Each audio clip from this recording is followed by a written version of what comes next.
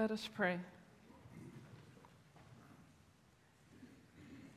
Loving God, open our ears and our hearts to hear the message that you would have for us today. Amen.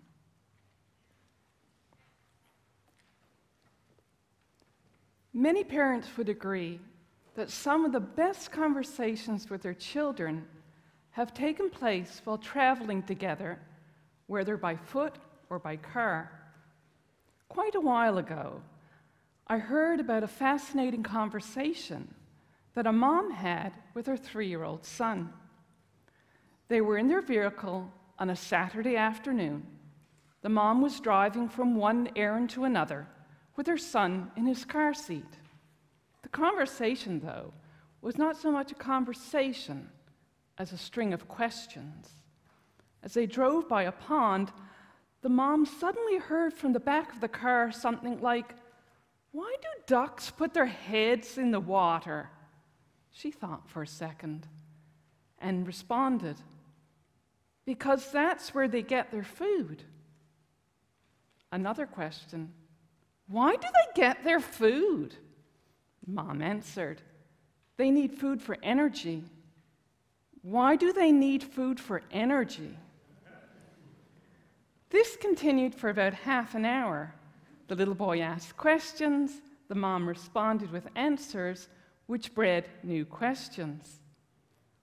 I was told there was a time of silence, but then suddenly there was an oh from the back of the car, and the child excitedly recounted his newfound knowledge about ducks. The mom realized that with each question her son asked, and as the wheels turned within him as he listened to his mother's answers, he was coming closer and closer to understanding ducks. In today's New Testament reading, Jesus is asked a question by a teacher of the law, or in some translations, a scribe. This question in our reading follows other questions posed in the verses that come before today's reading. Jesus had been asked questions by the Pharisees, the Herodians, and the Sadducees. It seems that these previous questions had been asked in an attempt to trip Jesus up. Our reading states that a teacher of the law who was listening to the arguments was pleased with Jesus' response. The question that he asks of Jesus does not seem to be asked to trip Jesus up, but is asked with a trust in Jesus' ability to answer the question correctly. The teacher of the law asks a question that spoke to the core of their Jewish faith. He asks Jesus, what is the greatest commandment? Jesus responds by reciting the Shema The Lord our God is one God. Love your God with all your heart and with all your soul and with all your mind. The second is to love your neighbor as yourself. There is no greater commandment. After hearing the response, the scribe congratulates Jesus and adds that love of God and neighbor is more important than all burnt offerings. Jesus comments on his wisdom and states that he is close to the kingdom. In a commentary of Mark's Gospel by C. Clifton Black, he says that Jesus recognizes discernment within the scribe's question and answer. Clifton speaks of this final question in the series of questions that Jesus had been asked in these words To cut any deeper would be to reach the marrow of discipleship. After 2,000 years, we still come with questions. Our questions, like the question posed by the teacher of the law, are important as they seek to lead us to a closer understanding of who Jesus is and how we are to love God and neighbor.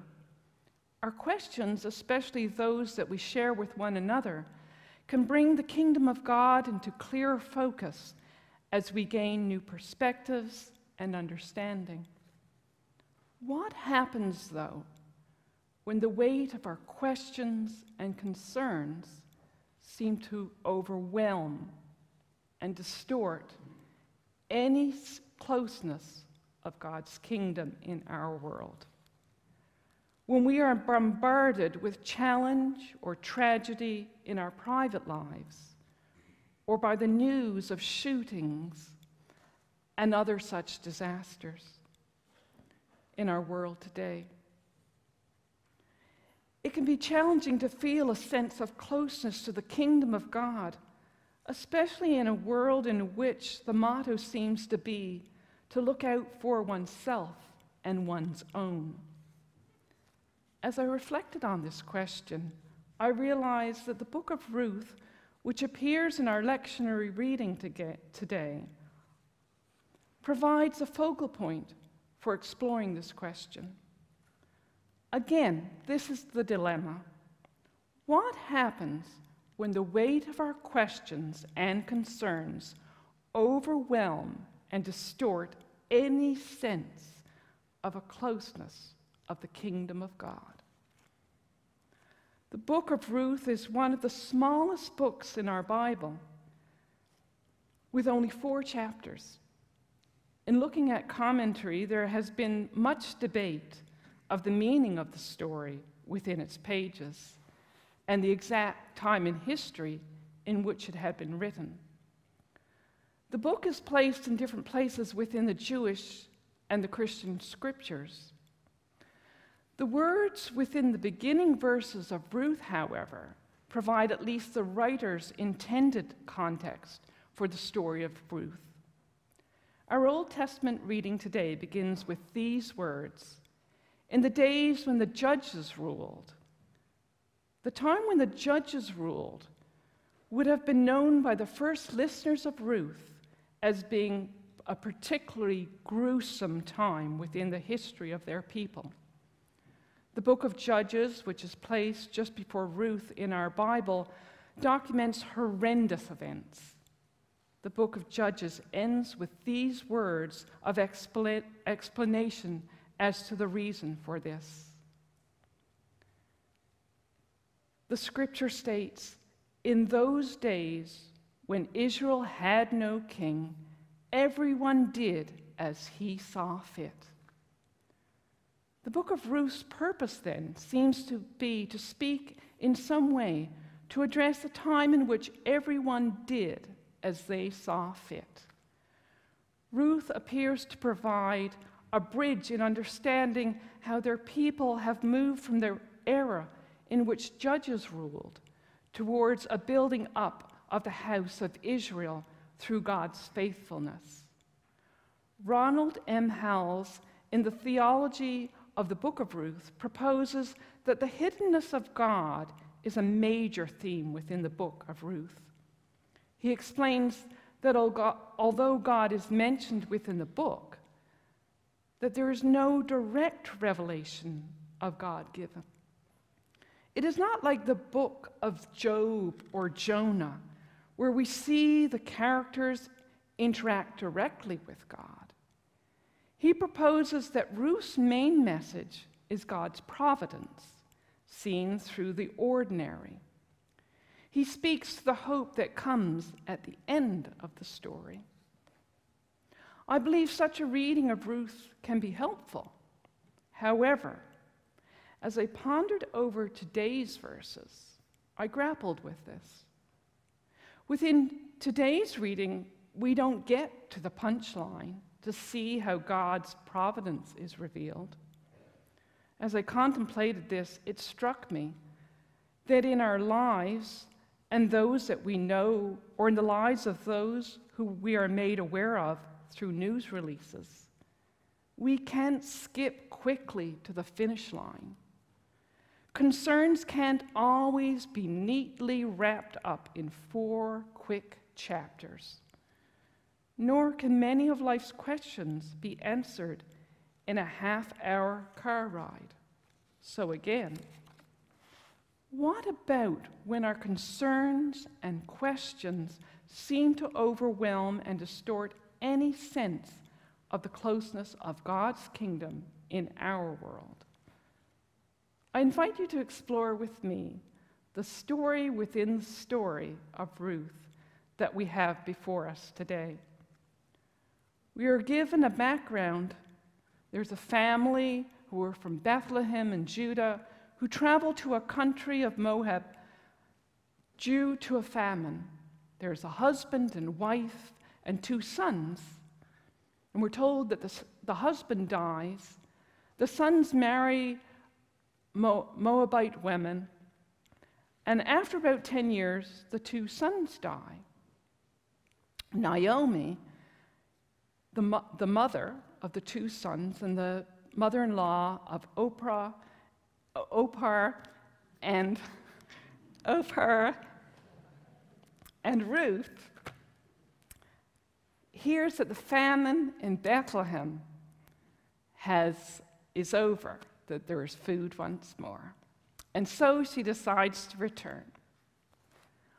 All three women leave where they are li- leave where they are living. On the road, though, Naomi wishes her daughters in law well and implores them to return to their own kinsmen. Neither wants to leave Naomi. At this point, Naomi utters her why question. This why question, however, is unlike the preschooler's why question in my earlier story. It is not asked to, st- to seek new understanding. The question is spoken by Naomi Why will you come with me? is a rhetorical one in nature. This why question is spoken in order to set up an argument. It is spoken to persuade others of Naomi's point of view. She is saying, why would you go with me? You won't get anything from me. I have nothing to offer you. And this, I guess, is the judge's worldview, and perhaps our own worldview at this time. Orpah does as her mother in law wishes and leaves. However, Ruth clings to Naomi and pleads not to be made to abandon her. We then hear Ruth's words. And she says, Where you go, I will go. Your people will be my people. Your God will be my God. I pray that not even death will separate us. Katharine Doob Sakenfeld explains in her commentary that it was very important to be buried with one's ancestors in countries of the ancient Near East. In Ruth saying that she would not be separated at death, she is really saying that the commitment is complete and irrevocable. Naomi is unable to shake Ruth off. Ruth is not interested in either her excuses or put off by the fact that Naomi isn't excited for her to come along. She is sacrificing her own future in order to continue with Naomi's journey, not even knowing perhaps what she would be able to do for Naomi. Naomi's yes is a resigned one. She allows Ruth to accompany her simply because it is evident that Ruth's determination will not waver. Commentaries speak of faith and action we see in Ruth lived out, of how the commandments are lived out in loving neighbor as self. And it seems that this could be a very good interpretation. I wonder too if we see an illustration of our God, our God who at times we just cannot shake off, our God who is committed to be with us and that even death cannot separate us from. Maybe it's a combination of the two of these. Maybe in seeing Ruth, we see a God who will always be there. And we can be reminded of seeing God in others and seeing God work through us. Before I finish, I would like to share with you one last thought. And it's something that I will be reflecting on as I go um, into this week, and I invite you to reflect also. And it is this Many children of God would agree that some of the best conversations with God as their heavenly mother or heavenly father have been amidst the journey. Whether it has been a sense of peace that God is listening during times of endless questions, or whether it has been in receiving a well timed call, phone call from a friend who cares. Let us go into this week ready to seek afresh signs of the kingdom of God. Amen.